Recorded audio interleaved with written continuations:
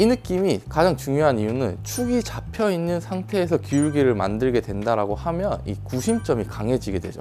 이 구심점이 강해진다라고 하는 거는 클럽이 나가는 속도가 빨라지게 되고 속도가 빨라진다라고 하면 비거리가 더 늘 수 있겠죠. 항상 제일 중요한 거는 축이 유지되어야 된다는 거예요.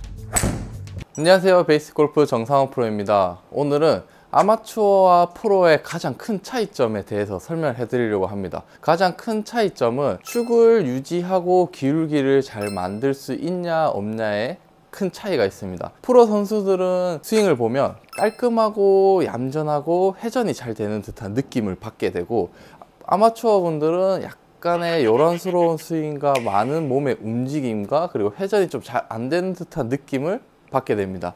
그 차이는 바로 축을 유지하고 기울기를 만들 수 있냐 없냐의 차이가 가장 크다라고 생각합니다.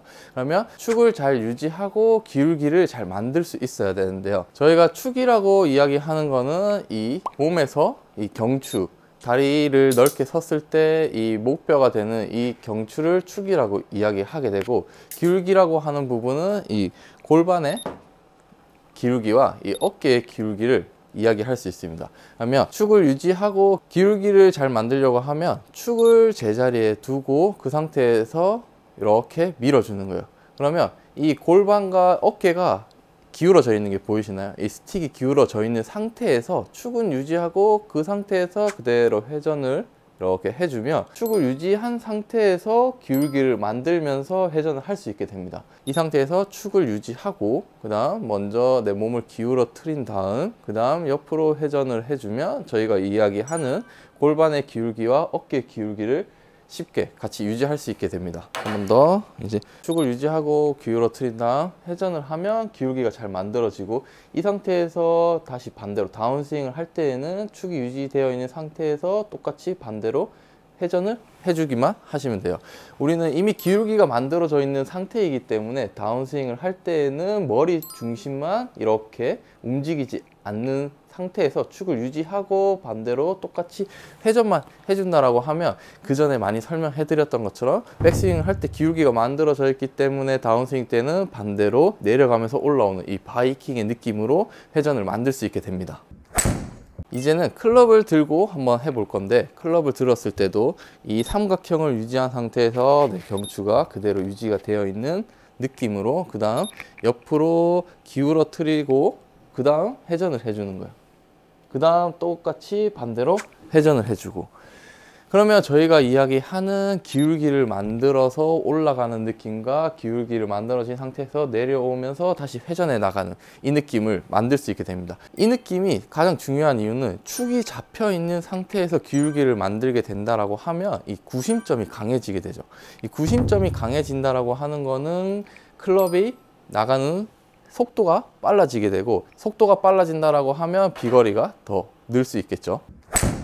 지금처럼 축을 잡고 기울기를 만든 상태에서 회전, 회전을 하면 우리는 중심이 잡혀 있기 때문에 구심점이 강해지면서 클럽이 빨라지고 빨라지면 비거리가 늘 수 있게 됩니다. 그러면 이거를 스윙으로 연결시킨다라고 하면 축을 두고 밀고 회전, 회전 하는 느낌으로 다시 축을 두고 밀고 회전, 회전 하는 느낌을 하게 되면 저희가 비턴을 얘기할 때도 밀고 돌고 도는 느낌으로 같이 만들어지면 됩니다. 항상 제일 중요한 거는 축이 유지되어야 된다는 거예요. 축이 유지가 되어야 기울기를 만들 수 있고 기울기를 만들 수 있어야 위에서 아래로 내려오는 가속을 붙일 수 있게 됩니다. 그러면 공을 치게 된다고 하면 머리를 두고 기울기를 만들고 그 다음 회전 기울기를 만들어서 회전 회전.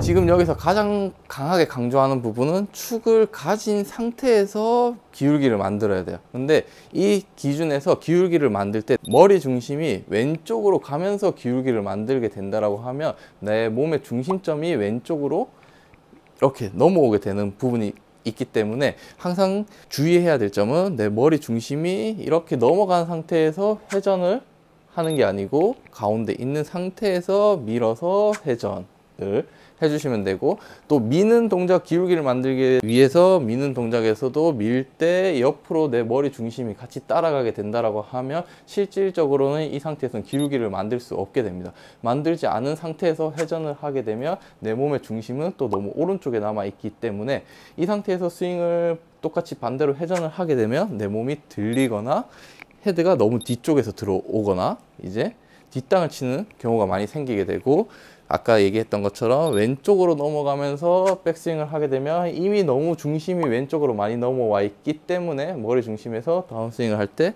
이렇게 엎어 들어오는 느낌을 느낄 수 있, 게 됩니다. 그래서 가장 중요한 포인트는 내 척추의 중심이 양발의 중앙에 항상 유지를 한 상태에서 내 압력의 느낌만 이렇게 옆으로 밀어주는 느낌이어야 돼요.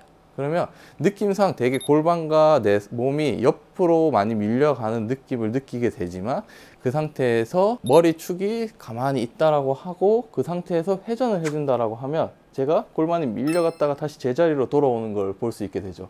항상 기울기를 만들기 위해서는 축을 두고 옆으로 밀어서 기울기를 만들고 그 상태에서 회전을 해주면 다시 몸의 중심은 제자리로 돌아오게 됩니다. 이때 다시 반대로 옆으로 회전.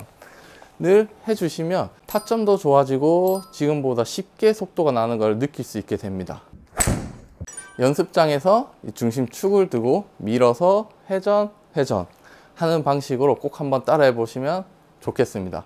오늘도 시청해 주셔서 감사합니다. 골프 잘 치고 싶다면 베이스 골프